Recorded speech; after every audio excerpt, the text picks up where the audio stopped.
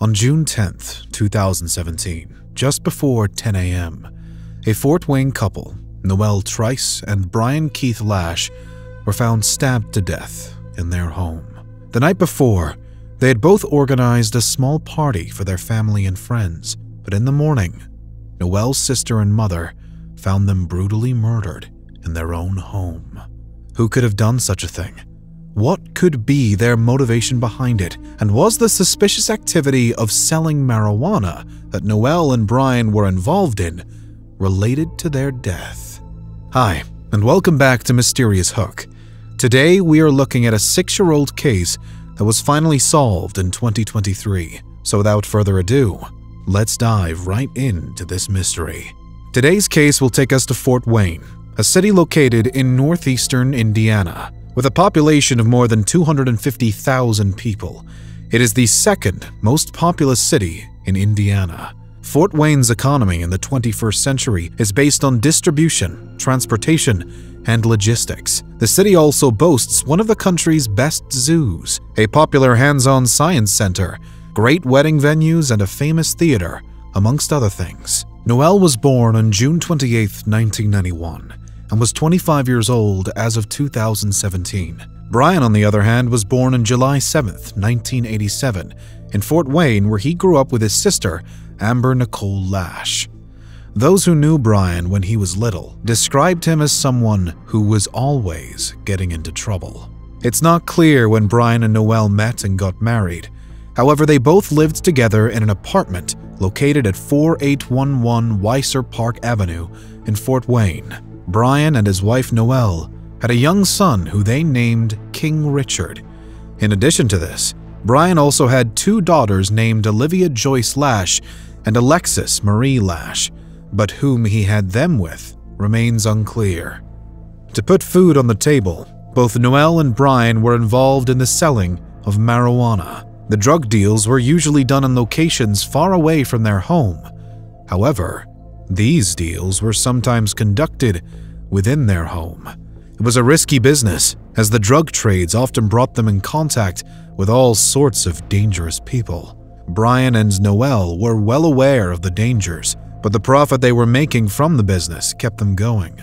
However, things got really messy when they least expected it. On June 9, 2017, Noele and Bryan decided to organize a party at their home. It wasn't something big, but was more of a get together. What the couple had in mind was to invite a few family members and friends over for a barbecue and then watch the Cleveland Cavaliers and Golden State Warriors basketball game that was happening that evening. They also plans to use the opportunity to sell marijuana to those who wanted to purchase it.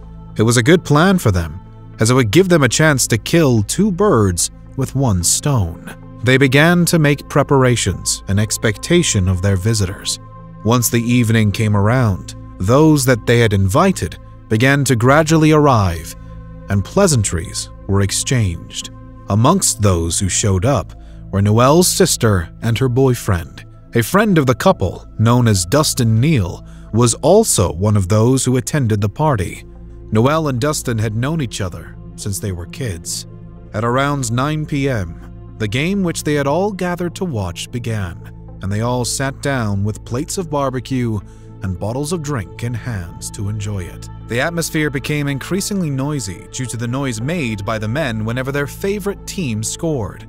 In the end, the game ended with the Cavaliers winning.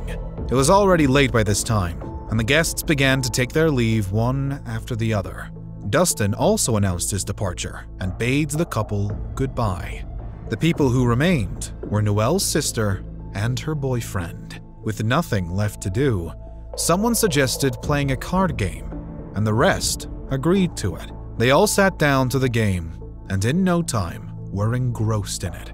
Several hours went by, and it wasn't until 3 a.m. that they all decided that they had had enough.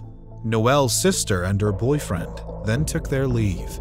Due to how exhausted Bryan and Noele were, they went straight to bed, telling each other that they would clean up the next morning.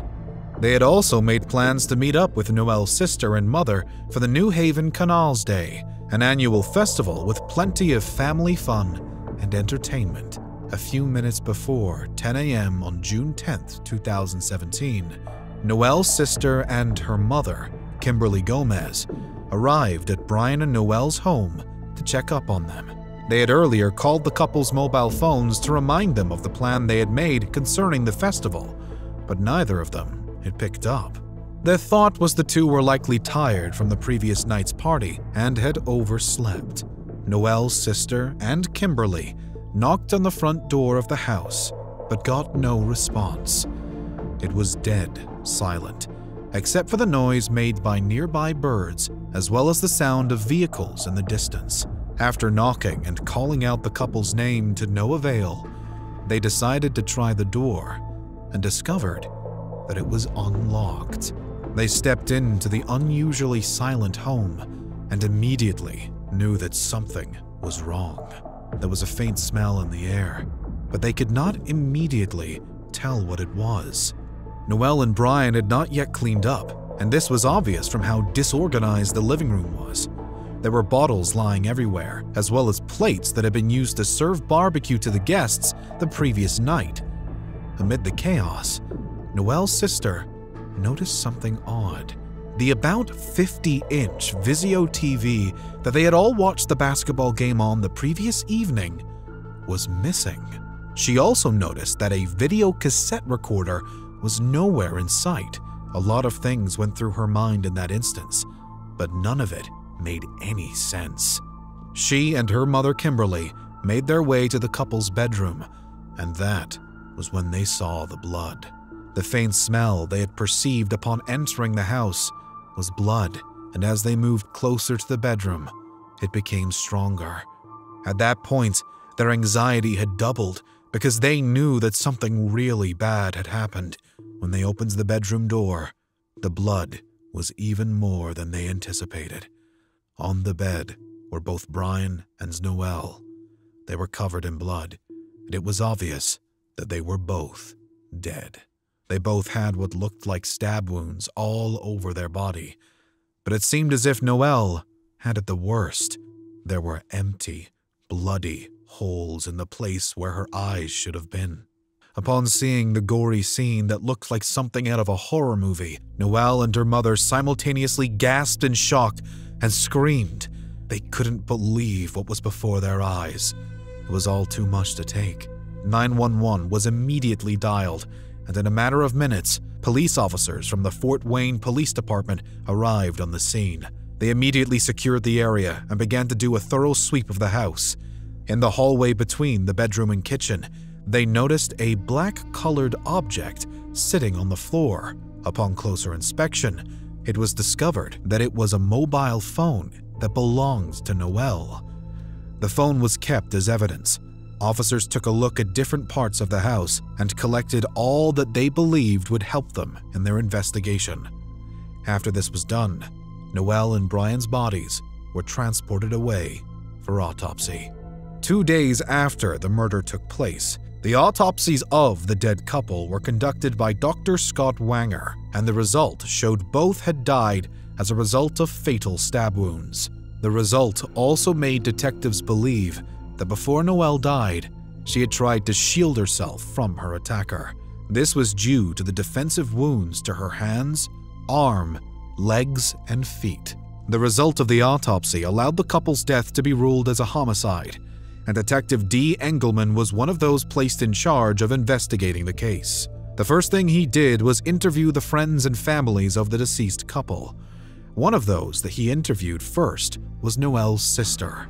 When asked about what she knew, she told the detective about the party that had been organized the night before the murder and stated the number of people that had been present. In addition to this, she revealed to the detective that her sister, Noele, was selling marijuana and that the majority of people who had attended the party were there because they wanted to purchase the drug. She also mentioned the missing TV and VCR she had noticed. On the 14th of June 2017, detectives decided to take a closer look at the items that had been taken from the couple's home. They knew these items could potentially provide the answers that were needed to solve the case.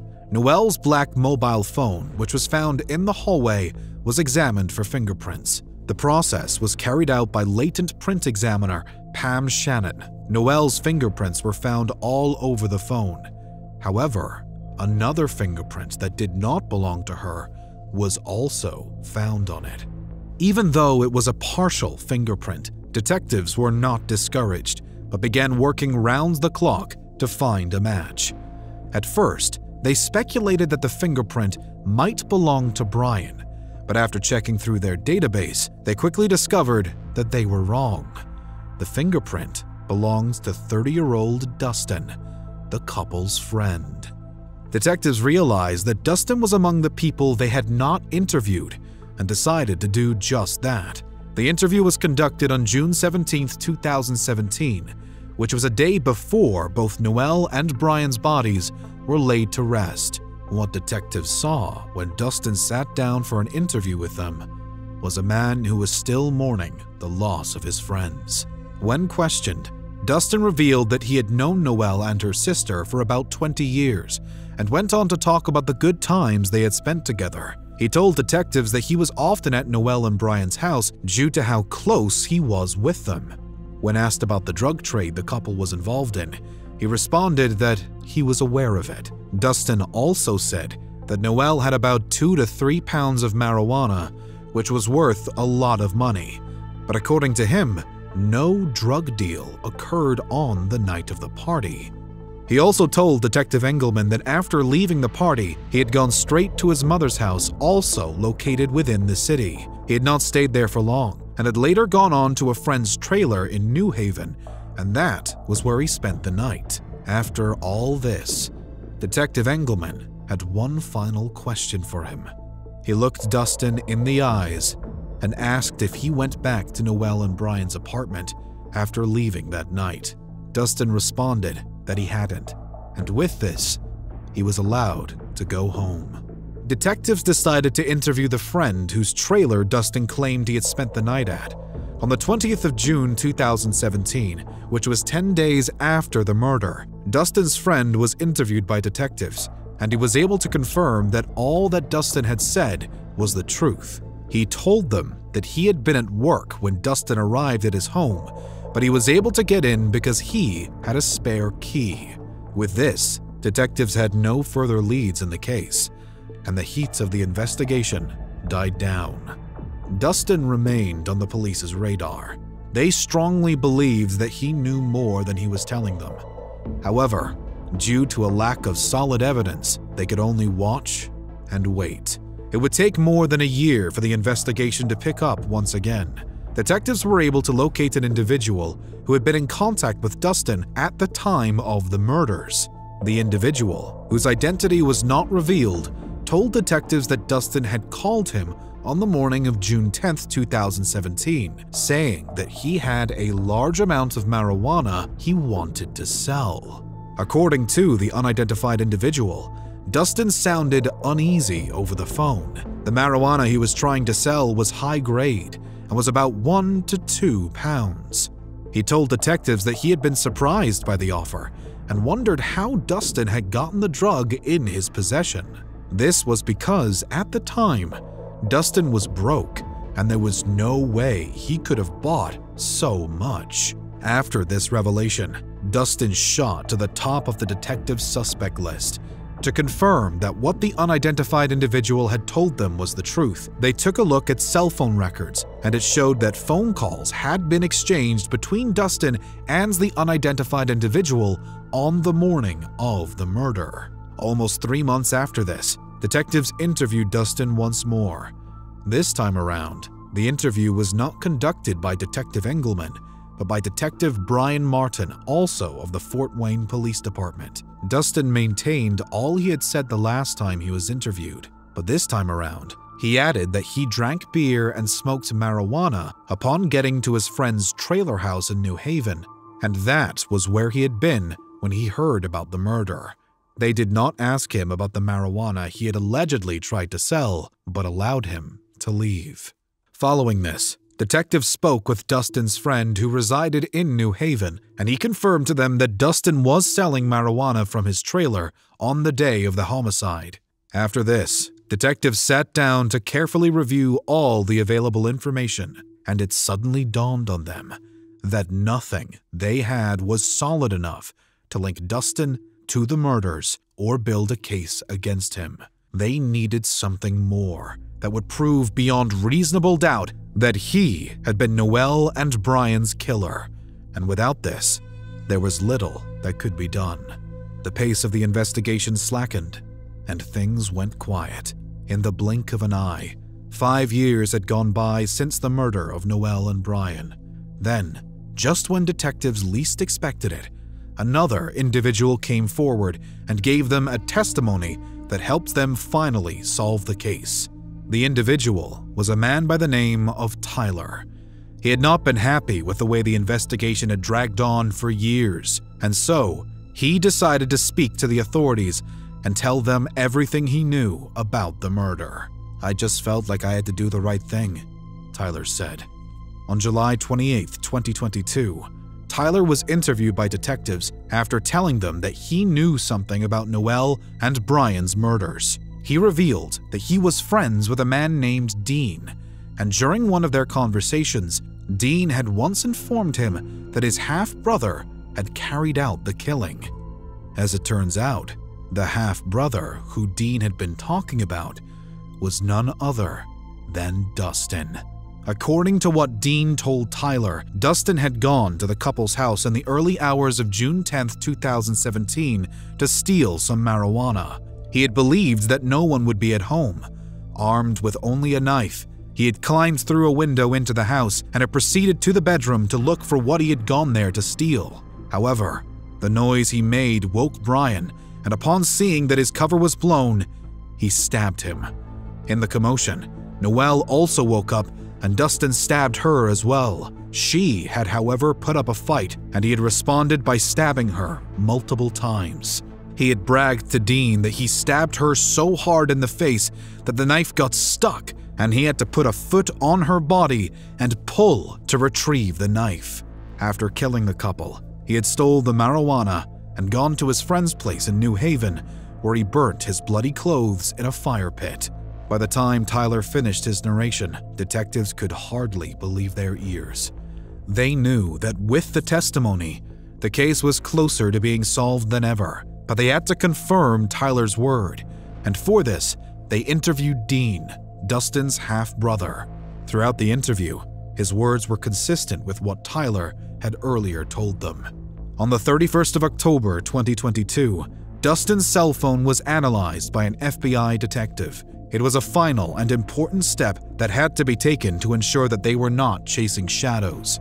Well, as it turned out, the result of the analysis showed that Dustin had been near Noele and Bryan's residence between 6:20 a.m. and 6:04 a.m. on June 10, 2017, which was the day of the murder. This was in contrast to what he told detectives about not going back there after leaving the party. In December 2022, officers arrested Dustin in Wells County and charged him with two counts of murder, two counts of felony murder, and two counts of robbery resulting in bodily injury. Detectives were pleased that they had finally brought the case to a close by making the arrest. They were also grateful for the witnesses who came forward and provided crucial information that was helpful to the case.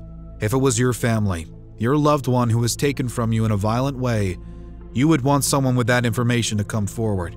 You would hope they would do it right away, but if they come forward at all and can provide that information and sit down with us, it usually brings good stuff to the case that we can use and move forward with evidence. Detective Martin told the media following Dustin's arrest. At the moment, Dustin remains in jail awaiting punishment for his crime. It is a relief that Noele and Bryan's murder has been finally solved, and through this, their families have been able to get the much needed closure that they deserve. But do you think there is a chance that Tyler's life might be in danger since this testimony was what finally solved the case? Let us know your thoughts in the comments section. And don't forget to like, comment, share, and subscribe.